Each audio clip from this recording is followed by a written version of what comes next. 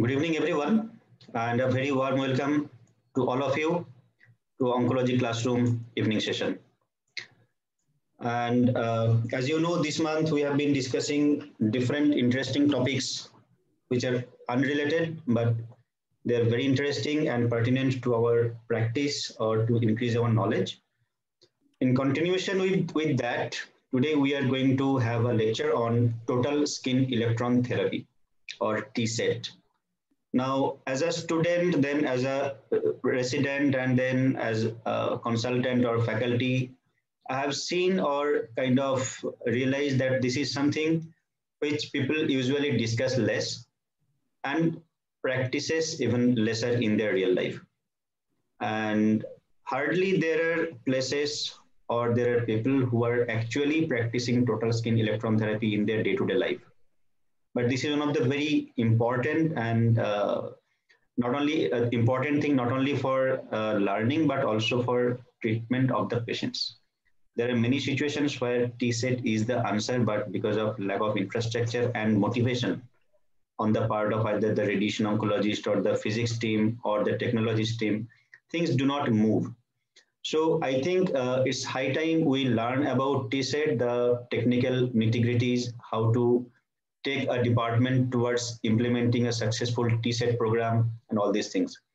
So we have been really fortunate today to have Dr. Vineeta Goel ma'am with us, who will uh, uh, teach us today about this total skin electron therapy. And she's one person who not only knows about TSET, but practices in her real life as well and have enough experience to teach. Uh, Dr. Vineeta Goel does not require any formal introduction, but just to introduce her, she, she is Associate Director of Radiation Oncology at Max Hospital, Shalimar Bagh, Shalimar Bagh, Delhi, and has a very, uh, very bright career in her, all through in her academic journey and practice life as well, having a lot of uh, feathers in her crown, and one of the strong uh, strong motivating person behind women empowerment as well. Thank you so much, ma'am, for uh, accepting this invitation. And I think we should now start the lecture. And uh, I should stop my sharing screen from my end. Please start sharing from your end.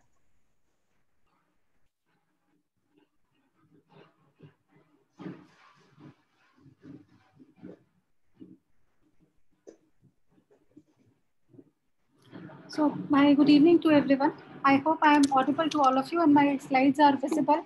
Yes, ma'am. Uh, fine. I'm really sorry for the background noise. There's a marriage which is happening close by. I think it will settle down in a few minutes. So, Dr. Dodal, thank you so much for giving me this opportunity and many thanks for the kind introduction also. And um, going forward, I have some disclosures to make. First of all, I do not think that I am an expert in cutaneous lymphomas or TSET because I think it is a subject in itself. But yes, I agree that we do have some experience. And today I'll try to share whatever we do at our center. And I will also share whatever mistakes we committed in our center so that anybody who's going to practice TSET, you know, will know from those mistakes that we did. Majority pictures that I'm going to show you in the presentation are of our own patients. And as Dr. Dodal rightly said that it is a teamwork and i'm very fortunate to have worked with some of the some very competent and enthusiastic doctors physicists technologists. Everyone you know is required for executing tset well. And i have no financial disclosures associated with today's meeting.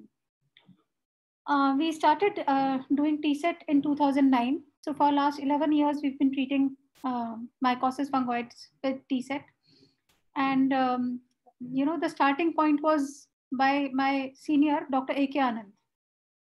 He met a gynecologist in one of the dinner meetings. Her husband was having mycosis fungoides. He needed total skin electron therapy. And he told me, you have to get the programs of TSET started. I said, I will do anything, but not TSET. It is very complex. He said, but I don't give you a choice. So honestly, I started this out of compulsion, but now gradually over the years, I have started enjoying you know, doing TSET uh, for patients whenever it is required. So as is true for all extranodal lymphomas, cutaneous lymphomas are any lymphomas which are present in skin with no extracutaneous disease at the time of diagnosis. And broadly, there are two types, T cell type and B cell type. Cutaneous T cell lymphomas are far more common than cutaneous B cell lymphoma. Cutaneous T cell lymphomas are also of several types. Of all the cutaneous T cell, lymphoma, T cell lymphomas, mycosis fungoides is the most common type. Now, until 2005, there was a lot of confusion about the, about the classification of cutaneous lymphomas. It is in 2005 that WHO and EORTC gave a combined unified classification. Till then, there were several classifications which people were using for cutaneous lymphomas. So the present unified classification of cutaneous T-cell lymphoma defines disease based on the clinical features, pathological features, cytogenetics, molecular features, all put together. So this is the broad classification. So if I have to just show you a few uh, types in this, so there is cutaneous T cell and non-NK cell lymphomas. Then there is cutaneous B cell lymphoma. And then there is a third variant, which is called as precursor hematological neoplasm. In cutaneous T cell and NK cell lymphoma, there are two types. One is cutaneous T cell lymphoma, and the other is extranodal NK T cell nasal type lymphoma. Amongst cutaneous T cell lymphoma, there is mycosis fungoides. Then there are variants of mycosis fungoides. There is Sézary syndrome. There is adult T cell leukemia. There is primary cutaneous CD30 positive lymphomas. Similarly, in B cell lymphoma, there can be a marginal zone lymphoma, follicular lymphoma, DLBCL, DLBCL of leg type or other types. Similarly, there are a lot of variants amongst the extranodal lymphoma also, which are predominantly CD8 positive. So in next couple of slides, I will keep coming back to these variants and will try to explain to you how to pick up by reading a histopathology report as to which one of the lesions, which one of the cutaneous lymphomas your patients have. Because majority of us see only mycosis fungoides. So we sometimes fail to recognize other entities, other subtypes of cutaneous lymphomas, which are equally important. So this is one very important and beautiful table through which I will try to explain you few things. For example, look here, this is cutaneous T-cell lymphoma and NK cell lymphoma, of which mycosis fungoides constitutes 44%.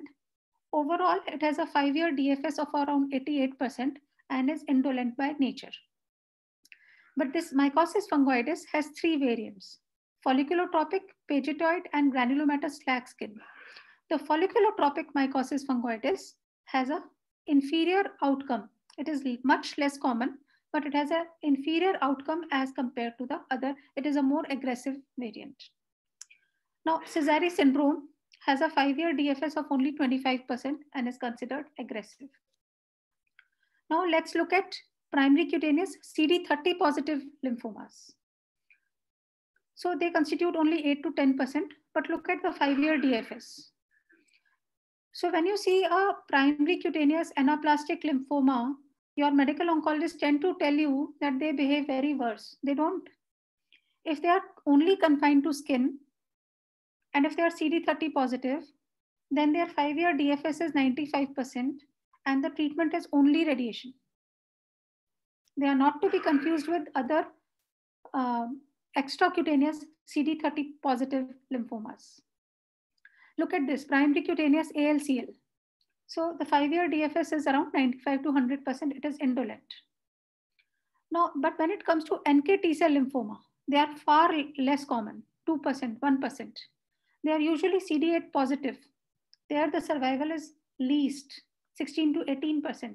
They are very aggressive. Here the main treatment is systemic treatment and not radiation therapy. Let's look at cutaneous B cell lymphomas. Marginal cell, follicular cell, good, good, good outcomes. But look at this, primary cutaneous DLBCL leg type. Five-year DFS is only 55%. So it is very important that we recognize what entity we, of cutaneous lymphoma we are treating and not treat everything similarly. Now, this picture I have taken from an article. This is a cutaneous primary cutaneous DLBCL leg type. This patient had lesions confined only in one leg. It is a much more aggressive variant. You cannot treat this with radiation therapy alone. It recurs. It has to be treated with more aggressive approach with a combination of R-CHOP chemotherapy and IFRT. So it is important that we identify these subtypes of cutaneous lymphomas. For cutaneous lymphomas, even for mycosis fungoides, there are several types of uh, several kinds of therapies which are available. Some are skin directed therapies, local radiation, total skin electron, systemic, biologicals, chemotherapy, stem cell transplant. So that is another reason we must be able to identify and label as to which type of cutaneous lymphoma our patient is having. Now, please pay attention to this line that I have put in red and underlined. EORTC says that term mycosis fungoides should be reserved only for CD4 positive cutaneous lymphomas. So this is an essential feature that they have to be CD4 positive to be called as mycosis fungoides. The lesions can vary. They can be in the form of patch or they, they, the, they can be in the form of plaque. Like this is a arc type of plaque. This is a nodular kind of lesions. So initially, if you go through the natural history of mycosis fungoides, the natural history grows over months to decades. According to literature, the median duration between onset of symptoms to attainment of histological diagnosis is long and can be up to 8 to 10 years also because it has multiple phases. Initially, the disease is in the pre-mycotic phase. It is in the form of dermatitis or psoriatic kind of a phase or patch-like appearance. Then it becomes infiltrative or plaque-like. And when the cells lose their uh, uh, homing properties, then it becomes nodular or tumorous. Very, very rarely, mycosis fungoides or cutaneous lymphomas can go to lymph nodes as well as viscera, which occurs only in 10 to 20% patients. This is another picture from the literature, which is showing all the three, four phases of mycosis fungoides. For example, this is a patch kind of a stage. This is a plaque. This is a, a nodule with ulceration due to superadded infection. And this is generalized erythroderma. This is also called as Redman syndrome. Now, in this picture, I wanted to show you that some of these patients may have plaques, may not actually have nodules, but there might be still ulceration. That ulceration could be either due to uh, superadded skin infection or because the no nodule is beginning to form. That is why there is an ulceration. Ulceration is never a good prognostic sign. It is a poor prognostic sign. Now in this picture, I particularly wanted to show that this patient had involvement of eyelid on both the sides. So one has to be careful while you know planning radiation therapy. Classically, mycosis fungoides starts with the sun-shielded areas, and the most common sites are trunk, pelvis, and proximal extremities. Now, this is another lesion, another patient showing multiple arcuate kind of nodular kind of lesions. Look at this lesion arc kind of a lesion. This patient um, had very big nodules, mulberry kind of appearance. When I saw him, I really got scared. I hope you can appreciate that there is a lesion inside the external auditory canal, as well as there is a lesion behind the ear lobule also. He was on a long-term treatment on oral chemotherapy, including CHOP chemotherapy for a long time before he came to us. Such lesions cannot be treated directly by TSET. So you have to first treat the thick lesions with high MeV electrons, sometimes 9 to 12 MeV electrons, or even sometimes photons. And when they scale down, when their height decreases, then only you can treat them effectively with uh, TSET. Now, this is another gentleman. When he came to us, we thought that maybe he has gangrene because the whole skin had become uh, black and there were multiple nodular lesions with ulceration this patient had big ulcerated lesion on the chest. So when you see these patients with ulcerated kind of lesions, nodular lesions, when you see erythroderma, then you should immediately register in your mind that this patient has an aggressive disease and treatment with TSET alone is not going to be enough. They have a high risk of relapse and after TSET also they will require some form of adjuvant therapy to which I will come in subsequent slides. So I have put a small tip here that as I mentioned earlier, if you see such lesions, you must start treatment with uh, boost, giving boost to these ulcerated or nodular lesions for several reasons. One is that you know patients are most symptomatic for these lesions. So when they you give radiation here, they get immediate symptomatic relief.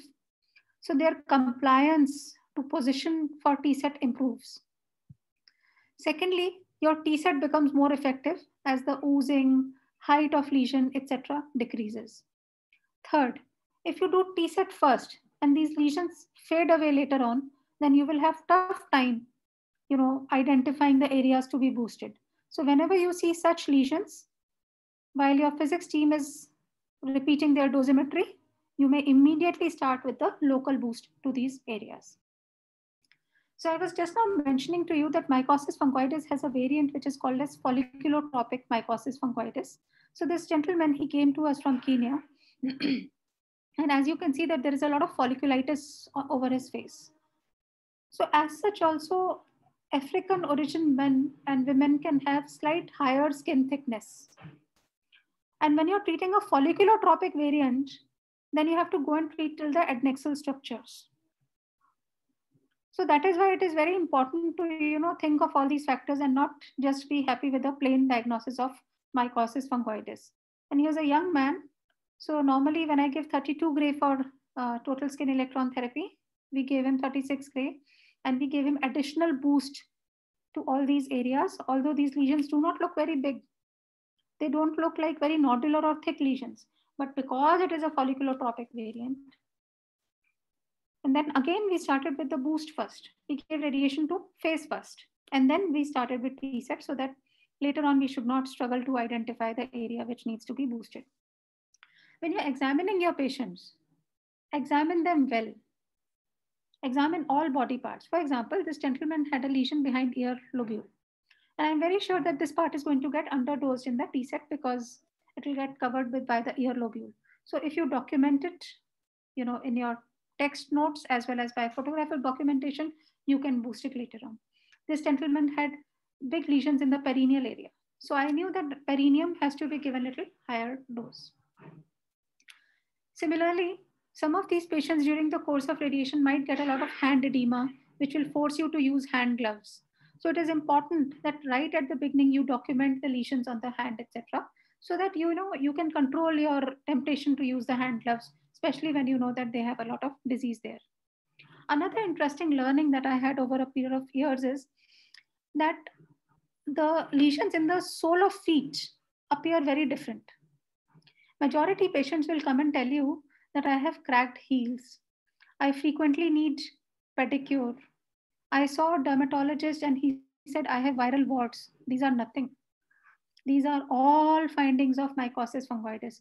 So ever since I have started treating, you know, earlier my policy was that if the patient did not have any lesions on sole of the feet, I would not give extra dose to the sole of feet thinking that I'll they will have more edema. But of late, I do sole of treatment, sole of feet treatment for every patient, and they all come and thank you for it because they get better. So I will just try to summarize whatever I have said so far that one is that it is very important to do a photographic and textual documentation of the lesions in detail. If your patient has dense scalp hair, ask the patient to shave their hair so that you can examine the scalp well.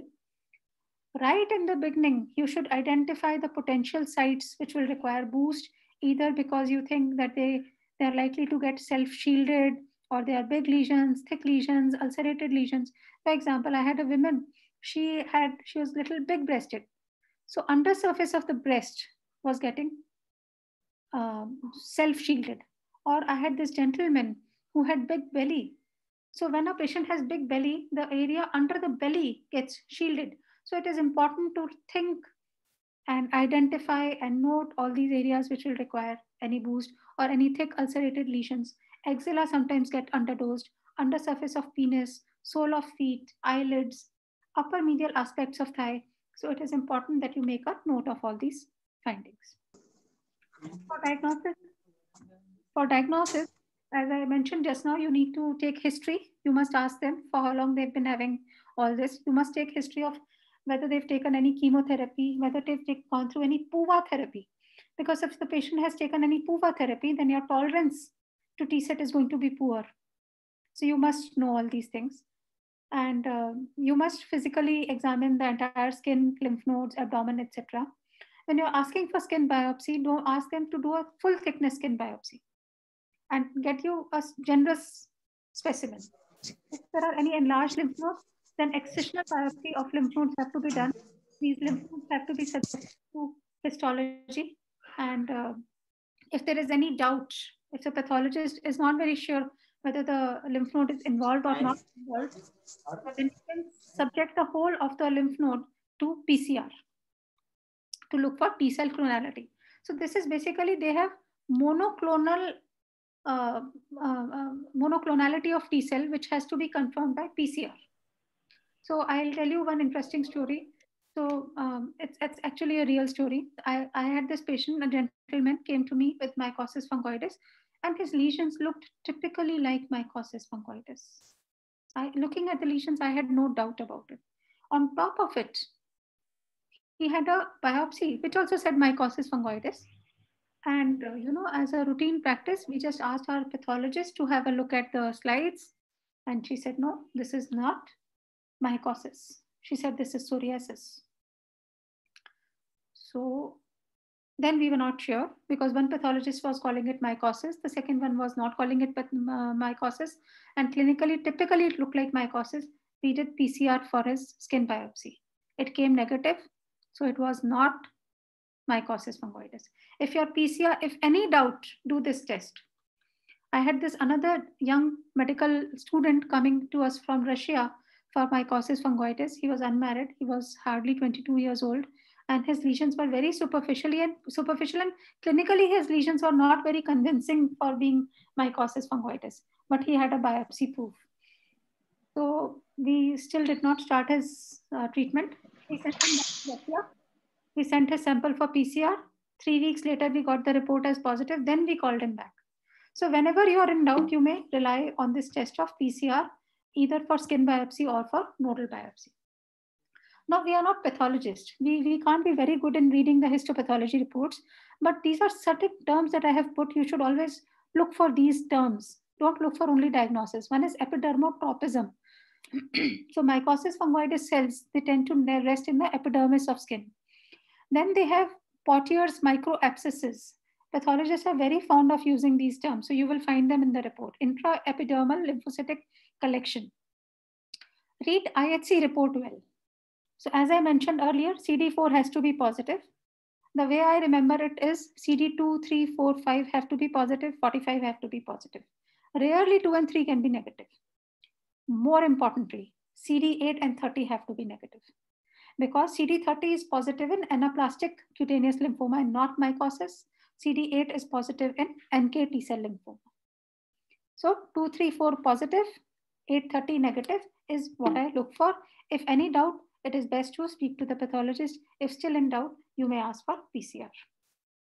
Apart from the clinical examination history and uh, skin biopsy, you need to do other investigations like CBC, biochemistry, LDH, IL-2 levels. Uh, you may send a blood sample for flow cytometry to rule out Sézary syndrome, where they will test for CD2, 3, 4, 5, 7, 20, and 45.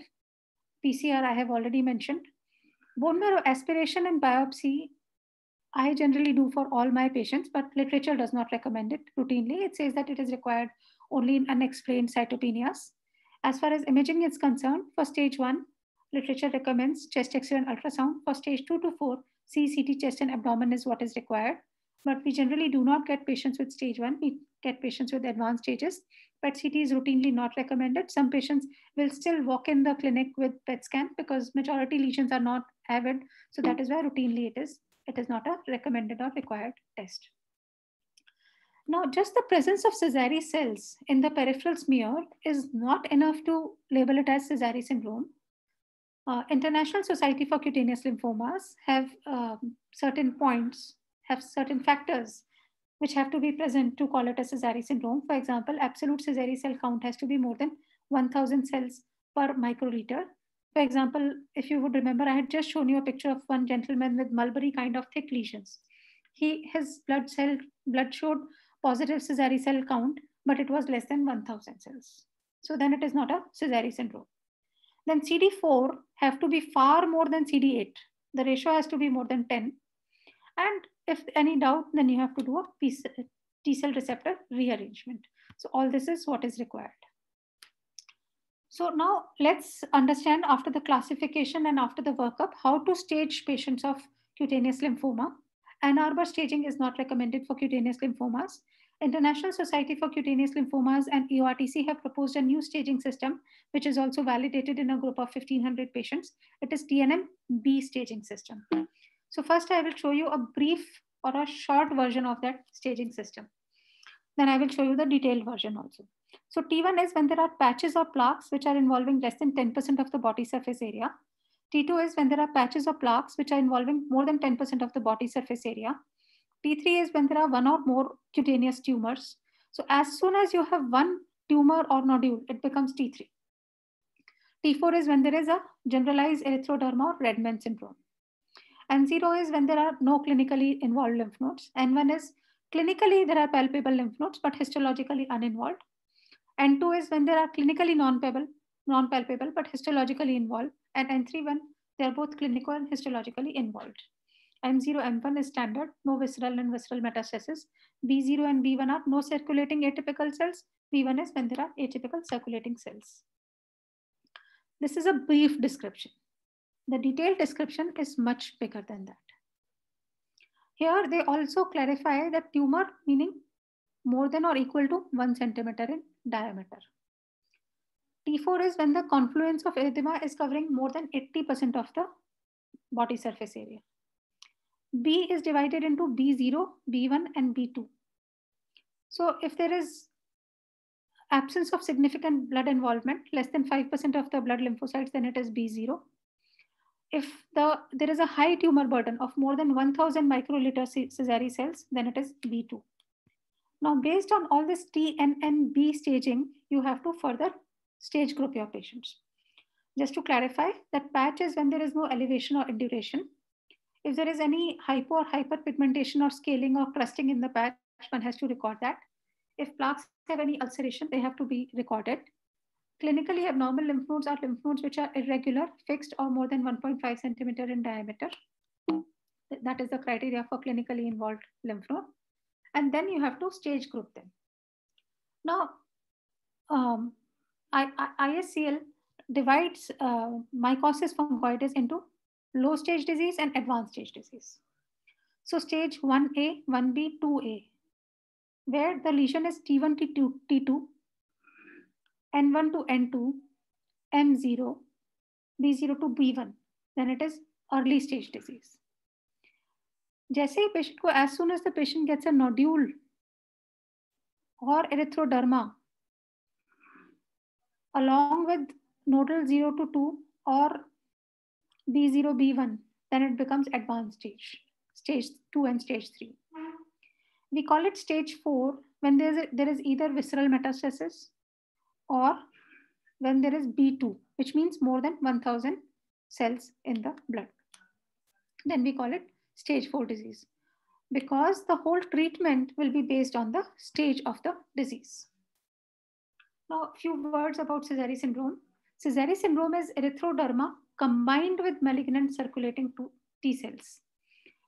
And Sézary cell is an atypical lymphocyte with moderate to highly folded or grooved nucleus.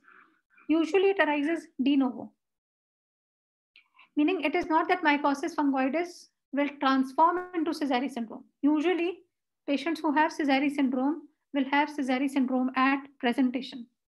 So I had this gentleman couple of years back who had erythroderma but he did not have malignant circulating T cells. So we did not consider that as Sézary syndrome. We treated him with low uh, T-set total skin electron radi radiation therapy followed by adjuvant methotrexate. It is very rarely that mycosis fungoides will progress to Sézary syndrome. When your patient will have Sézary syndrome, then they will require more systemic therapy rather than local therapy. Local therapy is given in Sézary syndrome. I have also treated one patient of Sézary syndrome with total skin electron therapy, but that was to palliate his symptoms, skin cutaneous symptoms. Now let's understand the prognostic factors. So as already mentioned, advanced stage is a bad prognostic factor. Folliculotropic variant or large cell transformation also carries poor prognosis. In fact, large cell transformation is a much bad sign as compared to the folliculotropic variant also these patients very quickly fail systemically. I will show you a few pictures of that also. Presence of uh, T cell receptor rearrangement in the lymph nodes is again a poor sign. B2 is poor sign. Lymph node or visceral involvement, increase LDH, all these carry poor prognosis. So this gentleman, you can see that he has a lesion. I'll tell you his story. This uh, gentleman had come to us about six, seven years back. I think in 2013, we treated him. At presentation, he had advanced disease. There were multiple areas of skin ulceration and we knew that he's going to do bad. So we gave him T-set with boost, etc. And following that, he was put on uh, adjuvant methotrexate. But while on adjuvant methotrexate, also he kept failing and we kept giving him small, small patchy areas of free radiation. In 2019, he had presented with seizure and MRI brain showed uh, multiple leptomeningeal deposits in the brain, which is very, very rare. And he also had a big lesion in the palate, which was very painful for him. So, and his histopathology had a large cell transformation. In fact, we had recommended that this patient should undergo a stem cell transplant. However, uh, because of financial constraints, he could not do so. So rarely you will see this kind of picture. Now, after stage grouping, let's look at the prognosis. Generally, we tend to think that mycosis fungoides is an indolent disease, but it is indolent disease only when it is caught in the early stage. So till early stage, the prognosis is five-year disease-specific survival is 90 to 98%. As soon as it is stage two or stage three or stage 4A disease, which means either a nodule present or erythroderma or ulceration, the survival drops to 40 to 50%. And in the Sézary syndrome kind of a picture or B2, then the five-year survival is less than 20%, hardly 20%. So we must counsel our patient's prognosis uh, accordingly. So as I mentioned just now, that there are several therapies available for the treatment of mycosis fungoides. So this is the list of treatment options, which includes topical steroids, where the class one steroid is clobetasol, PUVA, UVB, topical chemotherapy, imiquimod, photodynamic therapy, retinoids, etc. So let's look at the role of each one of these. So topical steroids, PUVA or UVB works only in the early stage of the disease. It does not work for advanced stage of the disease. It works, but it does not work so well. Now here also in the Sézaric syndrome or erythrodermic mycosis fungoides, these therapies can be used, but they give only symptomatic relief. Going forward, we have therapies like bexarotene, interferon alpha, HDAC inhibitors, and oral methotrexate. They work for all stages, but they work well for advanced stages.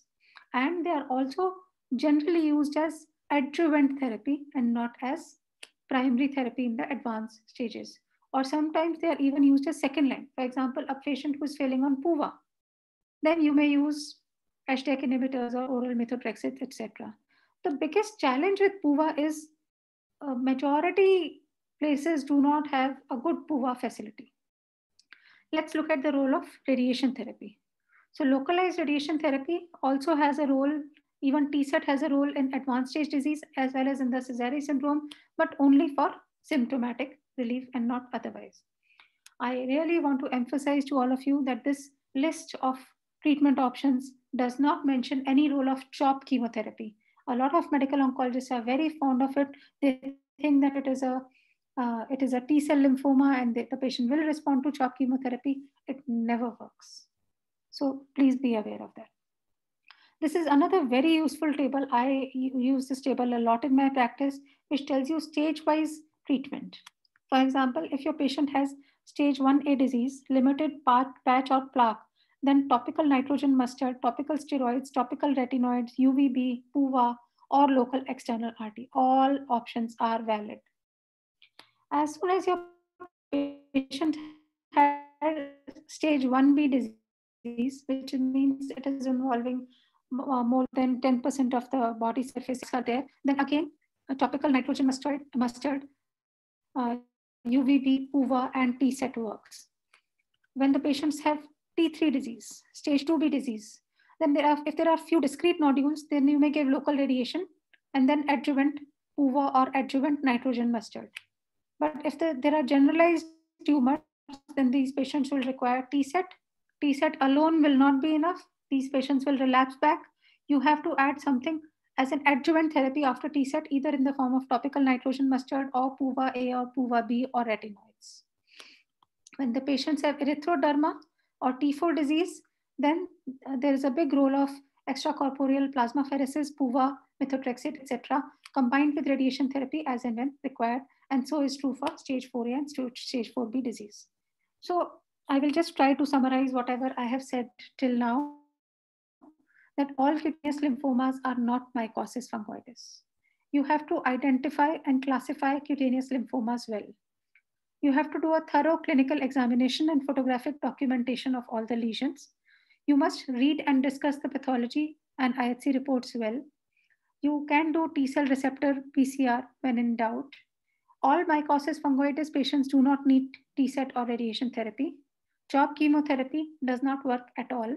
When you have big lesions, start with boosting those lesions first and then, then T-set. Now I will come to the second part of my presentation, which is about how to give radiation therapy as a part of treatment for mycosis fungoides. So we all know that radiation therapy is one of the oldest therapies which have been used, and it is one of the most effective modality in the treatment of mycosis fungoides. Earliest use has been document use of uh, radiation therapy has been documented to 1902, and the first T-set was reported in literature in 1953 by Trump et al. When it is a, a small patch or limited lesions, two through three lesions in close vicinity, then the treatment is localized radiation therapy. But when the TSET is a technique where you're trying to expose the entire skin surface to the to the to the electron therapy. So I had previously shown you this picture. This gentleman had big nodular lesions. And this is his picture halfway through the treatment. The only point that I'm trying to tell you is that radiation works really well. This gentleman, I told you he had ulcerated lesions, and I thought whether he has gangrene. I was worried that his skin should not desquamate, his edema should not increase. And he was 80 years old. And this is the picture he had sent back to me, you know, from his country because of COVID. Now he cannot come back for follow up. So it does work. This is the same gentleman as the previous picture. He had a lot of lesions on the sole of his feet, which all got cleared with radiation therapy. Whenever we are doing localized radiation therapy, generally we do marking clinically by adding one to two centimeter margins around the lesion. And you can make a cutout. If required, you can use a bolus. And the doses which are required have to be more than 30 gray uh, total dose. You may use any dose per fraction, 1.2 to 2 gray per fraction. It is not much dependent on the dose per fraction. This is from literature. This is about the outcome after local radiation therapy in the minimal stage 1A mycosis fungoides. These are three series giving dose of 20 to 30 gray uh, for localized disease. And as you can see that the series in which they gave 30 gray, the in-field relapse was zero, while there were few relapses in the uh, in the in the uh, groups where the lesser dose of radiation was used. Rarely, one may might need a photon or IMRT also. Rarely, not routinely. For example, this is a this is a picture from literature where uh, this gentleman had a large lesion all over his uh, trunk and he was not able to stand. So he was treated with therapy.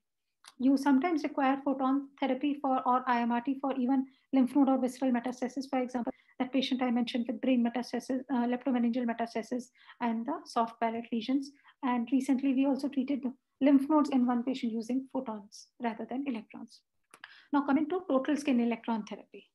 Total skin electron therapy was initially developed by Stanford in 1960. Initially, it was a four field technique, and later on, they modified and made it a six field technique.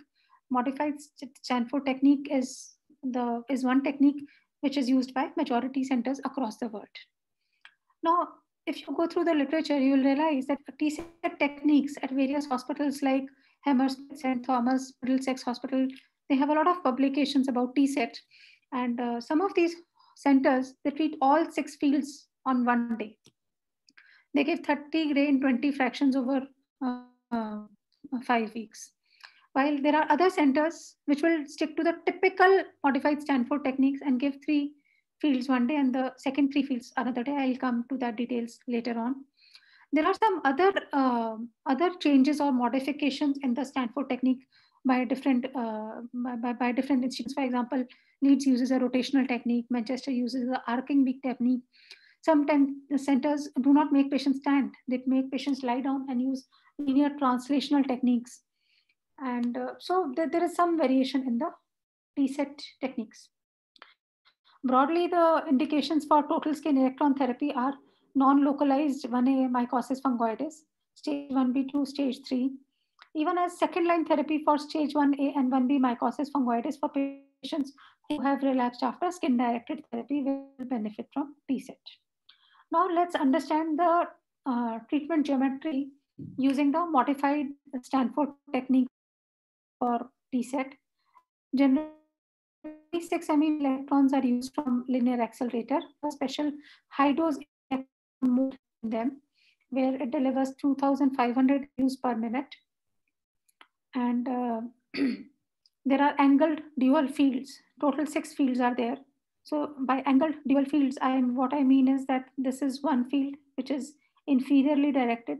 This is the second field which is superiorly directed. And the patient is made to stand on a T-set frame at about three meters from the accelerator. And, uh, Gantry angles are 7.5 degrees above and below the beam axis. There's a perspex sheet which is placed in front of the patient. The perspex sheet is placed so that it will decrease the energy of the electrons from 6 MeV, it will attenuate it to 4 MeV and also scatter the electrons. That is the ba basic purpose. Now, uh, I wanted to mention particularly about the uh, distance, optimal distance between the source and the patient. The optimal distance is 3 to 8 meters. When the distance is less than 3 meters, it is difficult to obtain dose homogeneity and limit photon contamination. There is more uh, X-ray production. And when the distance is more than 8 meter, then the treatment is markedly, treatment time is markedly increased. So that is why 3 to 8 meters is considered optimal. 3 to 5 meter rather is better. Now let's um, spend some time understanding the geometry here. So this uh, dotted line is representing the gantry. This is the axis. This is the central axis. So when you're seeing the setup of your patient on machine, first thing is that you have to have this measurement as to where your uh, frame is going to be placed. What we have done in our center is in the, in the linear accelerator room, we have marked with paint the position of our uh, frame, T-set frame because that is the same position in which our physicists have done the dosimetry also. Your uh, frame will have certain width. For example, suppose it has a width of two feet. Then the this central axis, beam axis should pass through the center of the beam. Then you have to place a lucite plate, perspex plate in front of the in, in, in the frames and your patient has to stand behind it. Now the patient should not be absolutely touching this there has to be some minimum gap between 15 to 30 centimeter between the lucite plate and this so that there is the electrons get a chance to scatter well.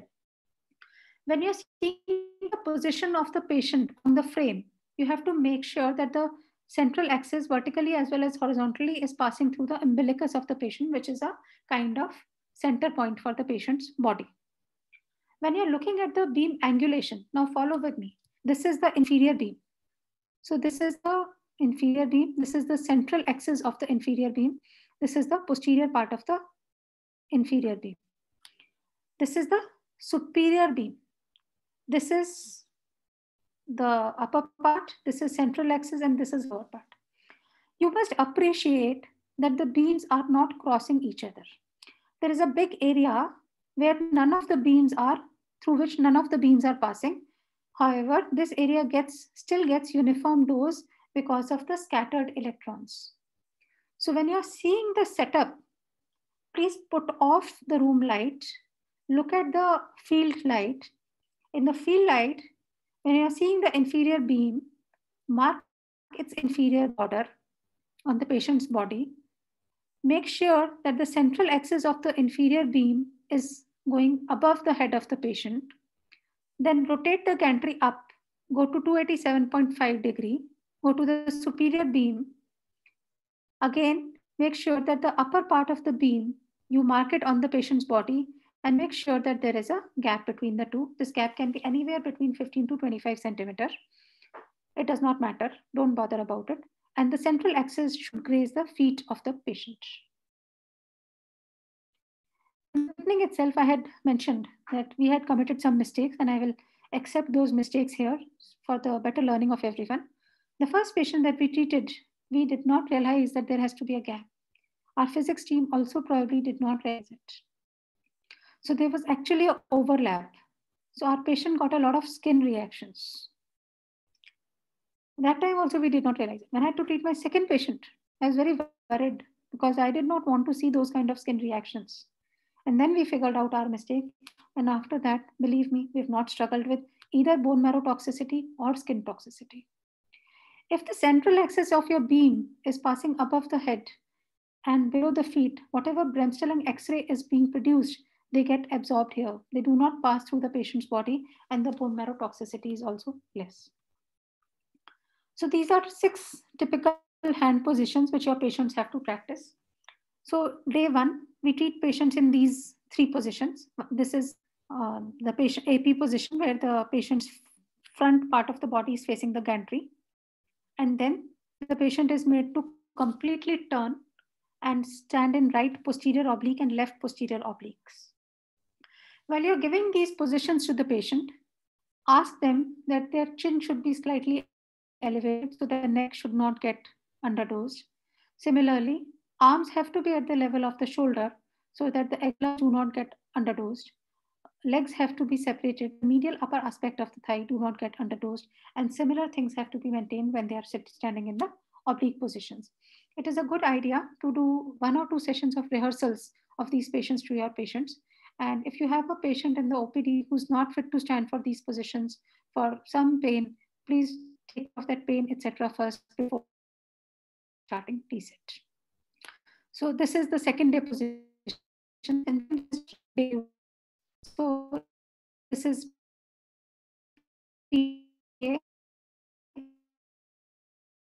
and these are anterior oblique positions. So together on day one, patient gets the box. On day two, patient gets green box fields. And together these six positions, six positions together constitute one cycle. Standing in these positions, then area. So together, six positions delivered over two days in modified Stanford techniques becomes a complete one cycle. The idea behind giving these positions to the patients is to maximize the skin unfolding and improve the dose in homogeneity. if you want to start TSET in your department, discuss with your physics team because it is a teamwork. Check if your linear accelerator room is big enough to maintain a distance of three to five meters between gantry and TSET frame or not. Check if you have HDR TSET mode in your LINAC or not. It is not that you cannot treat these patients without HDR TSET mode, but it is desirable to have that mode. Get a T-set frame made and uh, do the dosimetry commissioning, etc., using that T-set frame. And this, this is a long commissioning process. Generally, it takes first commissioning takes about four weeks. A word about dose electron mode. It is, a, it is controlled by an independent program board. I don't know whether later on one can attach it or not in the linear accelerator, and it has a higher dose rate, so faster treatment can be delivered. Now, when you're uh, choosing to build, get your frame made, I must tell you that there are several types of frames you can you know identify from the literature. We have a very very simple frame, but then there are frames where there is an auto rotation option also, so that the patient has to stand only in one position, and there are frames which have the option of supporting patient's hand, feet, etc., to, to make them stand continuously in the same position. These are some of the pictures which I wanted to show you that they are taken from our CCTV camera. So this is actually a phantom which was placed by our physics team at multiple levels. And through that, they checked, they did the dosimetry. Similarly, they also uh, placed uh, a parallel plate chamber and this dosimetry to, and chromic film to come out with the depth dose distribution. Anybody who wants to start TSET in their department must read the EORTC recommendations on TSET dosimetry, where it recommends that dose inhomogeneity at treatment distance, not at the level of gantry, at treatment distance should be less than 10% in vertical as well as lateral plane. So this is how it looks like that across the planes, the dose inhomogeneity should not be very high. The 80% isodose line should be more than four millimeter deep to the skin surface to ensure that epidermis and dermis fall within the high dose range. While at the same time, 20% isodose line should be less than 20 millimeter from the skin surface. So I will tell you how to measure these 80% and 20% isodose lines. So this is the PDD from our own department. So our physicist, after doing the commissioning, they gave me this PDD table of six dual field, all six fields fired. Okay, so then when I drew a line from 80%, this is a rough line that you're seeing, it is falling at around seven millimeter. So I was quite satisfied because the 80% line should be more than four millimeter deep. But at the same time, you do not want a lot, lot of bone marrow toxicity. So your 20% isodose line should not be more than 20 millimeter deep. So when I drew a line here, it was around 16 to 17 millimeter deep. So this is how you can work with your physics team and understand um, understand what is required. So some practical points. So whatever parameters, for example, location of frame, gantry angle, perspex thickness, distance of from perspex to phantom, your physics team follows while commissioning. Same have to be followed later on while doing the treatment also. Make sure that the central axis of beam is passing through the center of the plane uh, of the frame. It is a good idea to do some rehearsal before actually starting the treatment so that the patients are better prepared. And uh, sometimes, you know, if you have a, whether you have a tall patient or a short patient, depending on that, you might need a little adjustment in the height of your frame. Because if we go back here, you want that the central axis of the beam have to graze through the feet and above the head to decrease the Bremsstrahlung X-ray contamination. And that is why if you have a patient who is very short, sometimes you might have to add little slab here and you know raise him and all those things. So keep all those options available to you. Now let's talk about the shieldings which are generally required in the T-set. So first is external eye shield.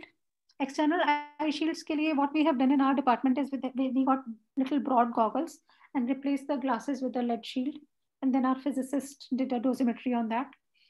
And um, they're quite heavy. So you need some Velcro tape to fix it on the head. And we suggest using uh, external eye shield in all fields.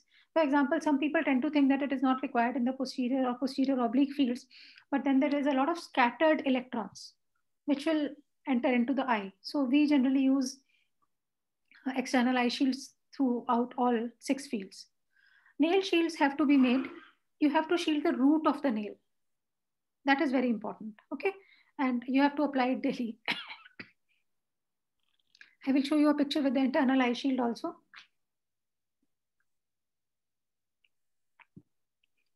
Internal eye shields are used for treating the eyelids because eyelids get shielded with the lead goggles. Uh, for a male patient, sometimes you might need a testicular or scrotal shield also. It can be made using the scrotal guard, which is used in sports, and you can suitably cover it with lead and wax. You know, in female patients, you don't have to worry about ovaries because uh, the ovaries lie deep in the pelvis. So for any young men who's desirous of preserving fertility, they need to be suitably consulted and they must see a fertility specialist. In addition, if they do not have any lesions on scrotum, then you may do use a scrotal shield. These are some pictures. These are not mine. These are from TMH. This is the picture of a scrotal shield. And this is the picture of a hand glove. This is for thumb. These are nail shields applied on the patient. So hand gloves and feet uh, shielding is required. Suppose your patient gets a lot of edema over their hand and feet, then sometimes you need to use them. So I will share, share with you another small mistake that we did in one of our patients. This gentleman had come to us from Afghanistan. At presentation, he did not have any lesions over his eyelids. And um, we treated him with T-set using goggles, but that time we were not using internal eye shields. Six, six months later, when he came back on follow-up, he had lesions around the eyelid. Fortunately, they could be salvaged, but now as a routine, we have started using internal eye shield for all our patients to treat their eyelid area. And if they already have uh, lesions around the eyelid, then the doses are a little higher. This is how the internal eye shield placement looks like. What we do is we make the patients wear the goggles. And once they're wearing the goggles, we mark the position of the goggles on the skin. And that, that becomes our external RT field. Generally, the field size is 4 to 4, 4 into 4 by 4 by 5 centimeters. And uh, put some anesthetic eye drops before putting the internal eye shields. Another very important thing that we learned over a period of time, we actually just happened to, you know, see this uh, uh, ASTRO meeting uh, presentation where where, where, where one university had done a comparison of skin doses with or without clothing during TSET. It was a dosimetric study. So what they did was they covered their phantom with a hospital gown and they measured it and they found that there was not much difference in the skin doses. So ever since then, we have started giving our patients a thin cloth to single layer of a very thin cloth so that the patients feel comfortable. We have done all dosimetry with it. There is not much change in the dosimetry, but you know, it is otherwise very difficult for patients to stand without absolutely any clothes and with so many of us around. And uh, as I earlier also mentioned, we start treatment with boost. These are kind of boost fields. Now, another point is in vivo dosimetry. Whatever dosimetry you may do, whatever, the patient's body is very asymmetrical. So you have to do in vivo dosimetry to know what exactly doses are going where. You can use either TLD batches or if you do not have, like we do not have the facility to do, read the TLD batches. So we use Gafchromic films and MOSFET. We place them over multiple positions, apply them on the same position for total two days because two days is equal to one cycle, two consecutive days. Now here in this picture, I would like to show you one more thing. Just look at this man. He has a belly. So the skin under the belly is getting underdosed. So that is why you have to make up your mind about these things also. There are certain standard TLD positions which are recommended in the literature. You may use that list. Apart from that, consider doing in vivo dosimetry for your large lesions, deep lesions, below external eye shields, etc. So this is the kind of list that we have from our, um, from our physics team. So some 60 films are applied. And, um, you know, the area which was not covered by either of the beams, the central area, which we are hoping to get covered with the uh, scattered electrons, there also we apply these films to make sure that they are adequately being dosed. And it gives you an indication about which area requires boost it tells you whether overall your dosimetry is symmetrical along the horizontal and the vertical plane or not. And sometimes we have found that after doing this dosimetry, we might need to little reposition our patient, you know. For example, suppose they have an initial distance of 27 centimeters from the perspex sheet and we find that they're, they're uh, that, that, that is not giving them enough dose, then we sometimes move them two centimeter anteriorly, etc. It is, it is very imperative to do this kind of in vivo dosimetry. Now, as I told you earlier, mycosis fungoides cells have very little capacity for sublethal damage repair. So you can use any kind of dose fractionation. Uh, generally, uh, there, there is literature for using 2 gray, 2.5 gray, 3 gray, 3.75 gray per fraction also, but it comes with a higher acute and low late toxicity. The standard recommendation by EORTC is to give 30 to 36 gray at 1 gray per fractions, 4 fractions a week for 9 weeks.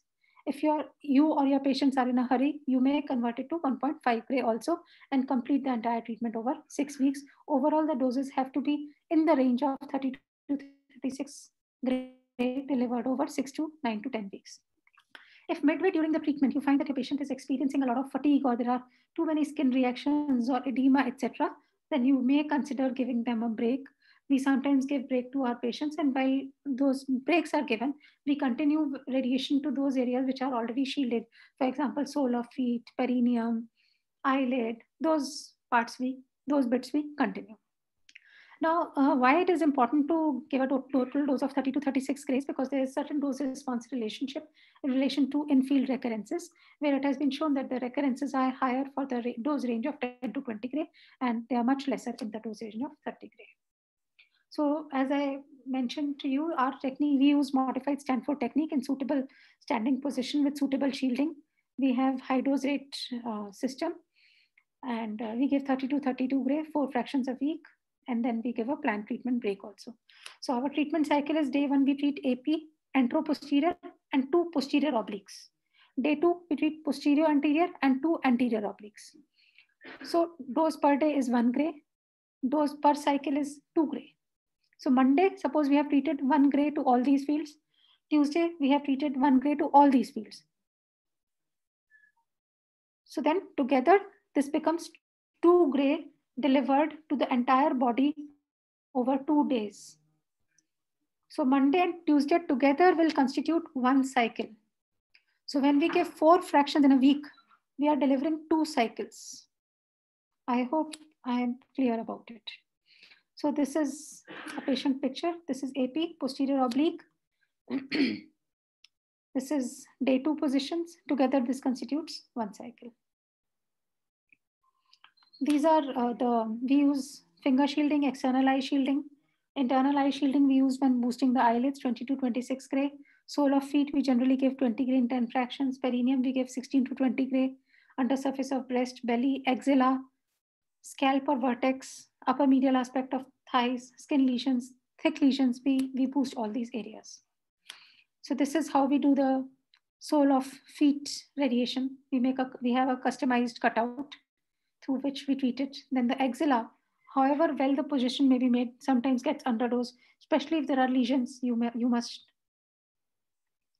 uh, um, boost it. And similarly, perineal boost is required. Now, what, to, what should you expect and what should your patients expect during the course of radiation therapy?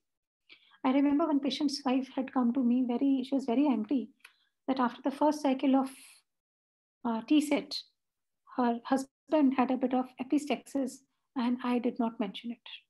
So we must know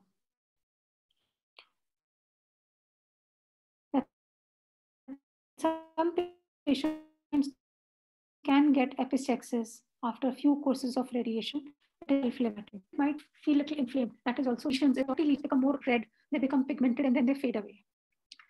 There is certainly more erythema and desquamation in regions which are prior treated with PUVA therapy. And if your patient is not showing a very good response, please do not worry because uh, the lesions of mycosis fungoides continue to respond up to three months after completion of therapy also. You must advise your patients to follow contraception for six months following TSET.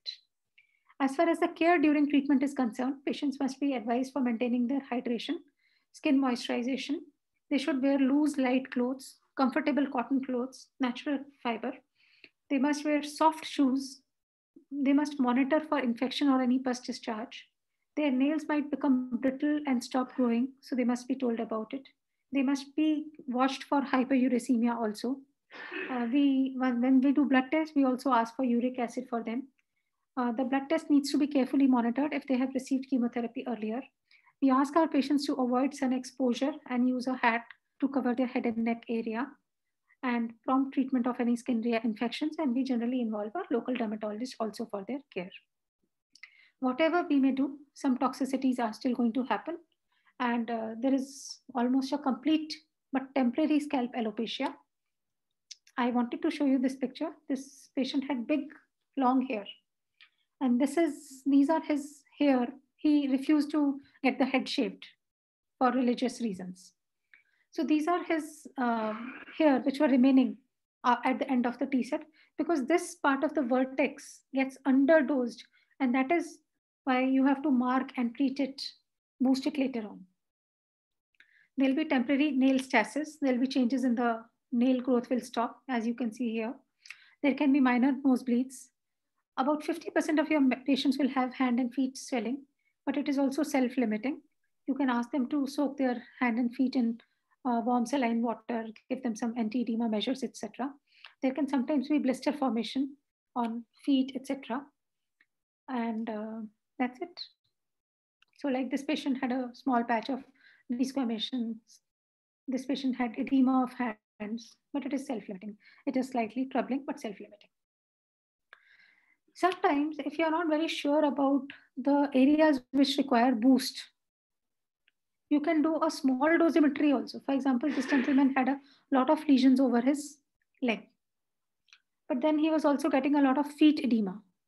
So we did a small dosimetry for him to take the final decision about the boost doses, etc.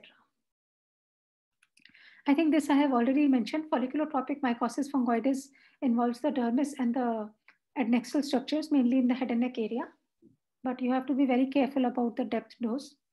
And granulomatous slack skin disease is generally involves the skin around the axilla and the groin. It is an indolent disease and the 20 grade 10 fraction local RTs just enough for it.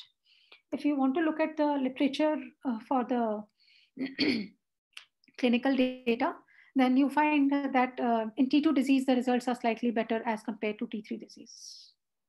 we see majority patients in T3 disease, T3 or T4 disease, but the, the outcomes, they vary. Now I'm coming to another very important aspect that I learned over a period of time while treating these patients, and that is adjuvant therapy.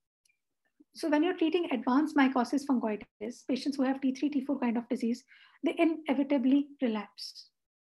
There are several studies which have used adjuvant therapies like topical nitrogen mustard, PUVA, ECPP, interferon, and systemic therapies. The problem is that these are all small series, retrospective, single institution. So you do not have a very large database, and, and that is why their results are also variable. For example, this is an old study, 1997 study, which talks about using PUVA therapy for T2 disease after TSET. And the patients who got PUVA had a much better disease-free survival. Their overall survival was also better, but overall survival was not statistically significantly better, but it was better as compared to patients who were treated only with PUVA, but it came with the cost of more dry skin and erythema. Similarly, there is another study which talks about using nitrogen uh, mustard as a topical application in the form of gel. And uh, the patients who used nitrogen mustard, they had a much better disease-free survival. So what I have realized is that I could not figure out how to give nitrogen mustard on PUVA or PUVA, but as a routine, after discussion with our medical oncologist, one month after completion of total skin electron therapy, for patients who have advanced disease, we give them oral methotrexate, 15 milligram once in a week for minimum 6 to 12 months as adjuvant therapy. And I think it works really well. Not much toxicity. So I just tell my patients that they don't even need to come to the hospital. Once in a month, they do the blood test and send it over WhatsApp and they continue it. now a word about low dose TSET. So in last 10 years, there has been a new concept about using a lower dose of total skin electron therapy as uh, you know, everywhere in lymphoma, the doses of the radiation are getting abbreviated, they're getting lesser. So that includes shorter treatment, reduced cost, better compliance, less adverse effects, repeat treatment is possible. The only problem is that there are no randomized trials which are available which have compared high dose versus low dose TSET. So there is limited data and the remission duration disease-free survival duration is much shorter. So this is actually a paper from uh, 2015 where uh, they did a pooled analysis of three phase two clinical trials, including patients who were treated with low dose TSET to a dose of 12 gray. Overall response rate was very good, 88%. But the median duration of response was 18 months. So it, I think it's a reasonable option for patients who are desiring palliation for diffuse disease and who may not tolerate, uh, you know, time or commitment required for long course TSET. But um, I am not in for it. Although literature does mention it, the total dose of TSET varies between 10 to 20 gray in low dose TSET. Just to show you a couple of pictures about special situation. For example, if you have a elderly gentleman who cannot stand and who requires total skin electron therapy, then this is one picture that I found from literature where the patient can be treated lying down on the floor. It will certainly require additional dosimetry by your uh, physics team. It is not going to be an easy task, so ask them first before committing to the patient.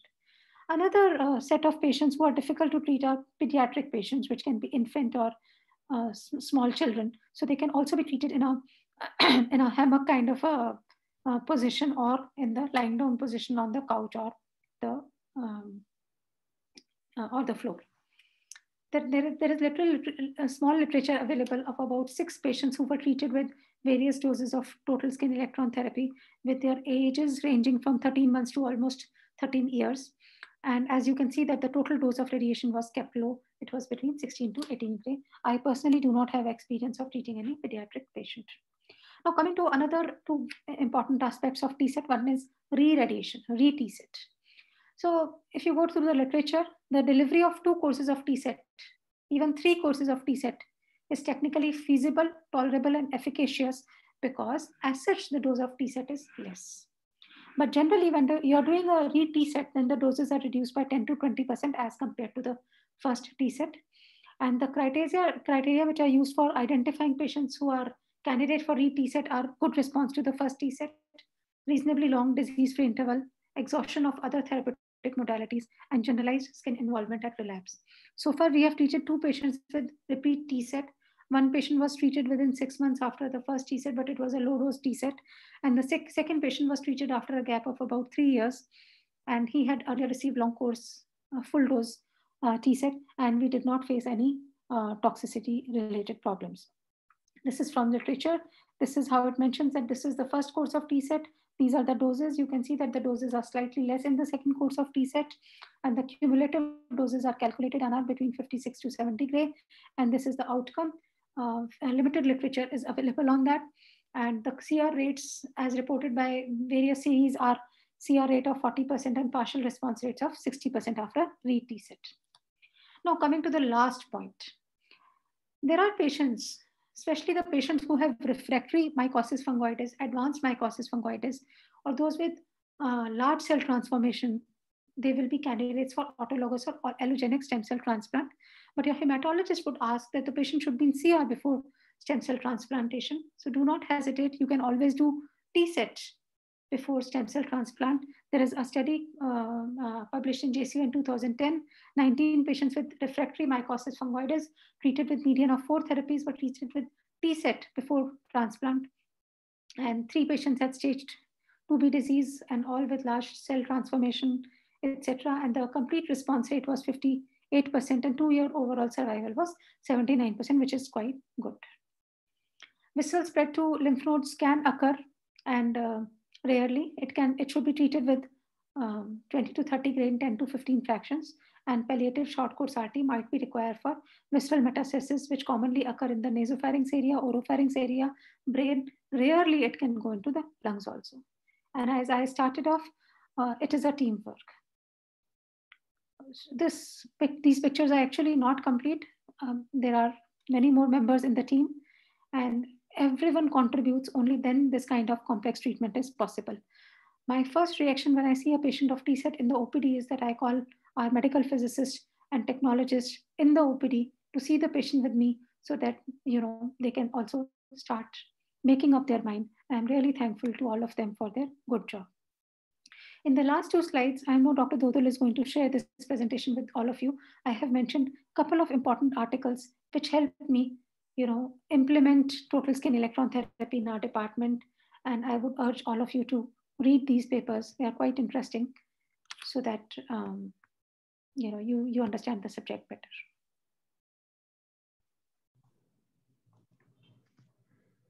Thank you Thank so you, much, ma'am. Thank you so much for this excellent class. And uh, this, it looks a small a chapter when we read uh, Khan or even we read Perez. But there is so much complexities involved in this. And I know for perhaps these are the reasons that not many centers are actually commissioning TSET. And uh, there are big centers also which uh, have not implemented or commissioned TSET, even when they have all the facilities because it takes a lot of time. One patient means perhaps few hours every day. But uh, I salute you and thank you for uh, the reason that you have been implementing this so meticulously and documenting them, uh, keeping the data and uh, photographs for all of the patients is really uh, awesome. Thank you. And I think, ma'am, you have explained it so nicely that no one has no one has any confusion, but only uh, good words for you. So all of them are thankful. Multiple messages saying this excellent presentation.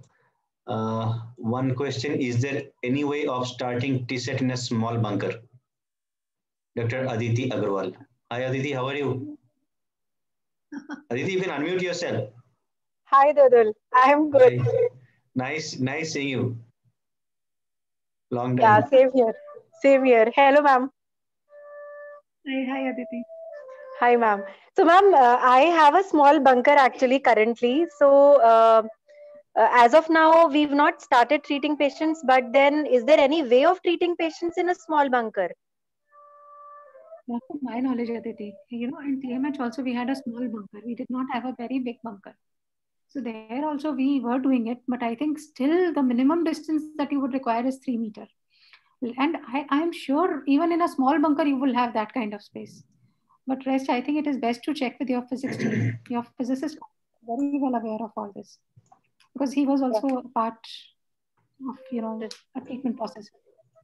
Right, ma'am. Right. Ma'am, usually what is the timeline by which nail starts regrowing? Two to three months. And uh, how satisfied are you with the quality of nail after uh, they regrow? It's a normal nail. So when I see these patients on follow-up, unless they have recurrence, there are no complaints. They're very happy. Great. One has to be a little liberal, you know, in using the re-radiation also. Thank you so much, ma'am. Small field re-radiation is very easy. For example, we had treated one patient in 2013. She had come from Himachal Pradesh. Now she had three areas of small patchy recurrences. She was in a hurry to go back. So we simply gave it 30 grain 10 fractions to those patches. We put her on methotrexate. Now one year down the line, her methotrexate has also been stopped. That's great. I mean, these are very satisfactory treatment, but unfortunately, many centers are unable to implement. I think uh, there will be a time when we will have our nodal centers for doing TSET kind of complex treatment. These are the centers designated for TSET. As I told you, and I did people not. People should also know who that who are the persons who are doing this. Yeah. So in the beginning, I did not want to do it. I was very reluctant to start. I thought it will take away a lot of energy and time. But Dr. Anand was very adamant that I do it. So I said, okay. Thank you so much, women. Extra thanks for all your efforts and for all okay. all the obvious reasons. Yeah, thank you. Take care, ma'am. Take care. Good night, ma'am, and uh, good night, everyone. Good night. And uh, just before I finish, uh, next month we are going to have some rocking sessions. I'll just start sharing the flyer and information. I hope everyone will enjoy the coming month. Okay, good night. Good night, everyone. Good night, ma'am.